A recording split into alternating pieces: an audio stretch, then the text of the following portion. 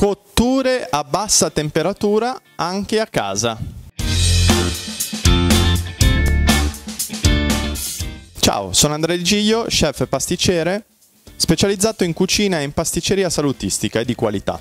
Bene, oggi ti volevo parlare di una cosa molto importante che personalmente mi piace molto è la cottura a bassa temperatura. Eh, sappiamo che nei grandi alberghi, grandi ristoranti fanno questi tipi di cotture e si pensa che sia una cosa inarrivabile, una, una cosa veramente complicata. In effetti non lo è ed è molto semplice. La bassa temperatura è una cottura che si può utilizzare per tutti gli alimenti, quindi carne, pesce, uova, legumi,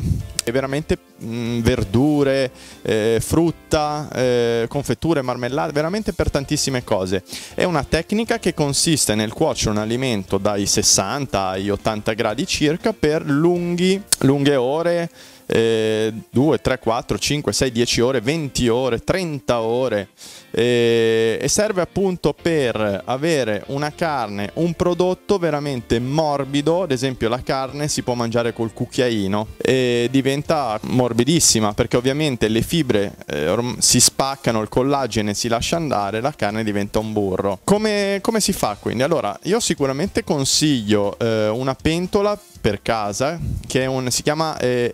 Electrolux fornello lento da cucina che si trova anche su Amazon. Io personalmente ce l'ho a casa, l'azienda non è che mi paga per dire questo ma voglio dare un valore a questo video quindi alle persone che mi seguono. Eh, questa pentola eh, consuma quanto una lampadina eh, elettrica e la cosa bella è che possiamo mettere carne, pesce, uova, insomma quello che vogliamo cucinare all'interno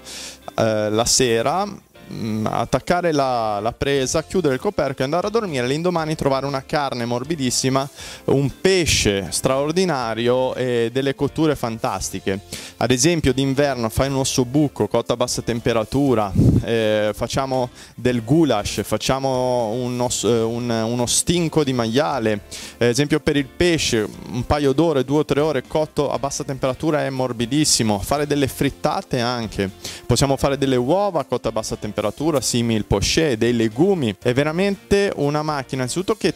non toglie tempo alla persona per cucinare, ma cucina da sola e poi che veramente fa un prodotto fantastico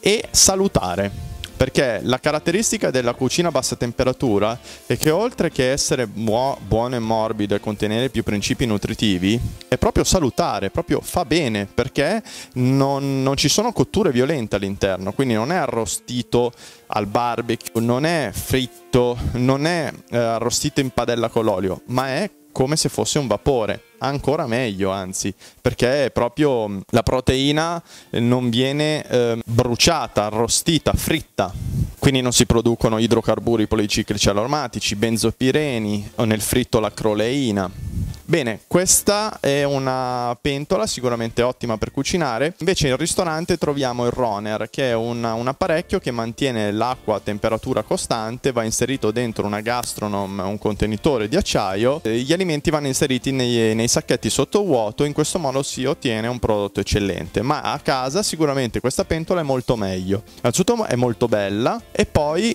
permette di fare questo tipo di lavorazioni. Bene, se ti è piaciuto questo video metti un mi piace alla, mia pagina Facebook, al mio canale YouTube, iscriviti al canale, restiamo sempre aggiornati per qualsiasi dubbio o domanda puoi anche scrivermi alla mia mail. Ciao!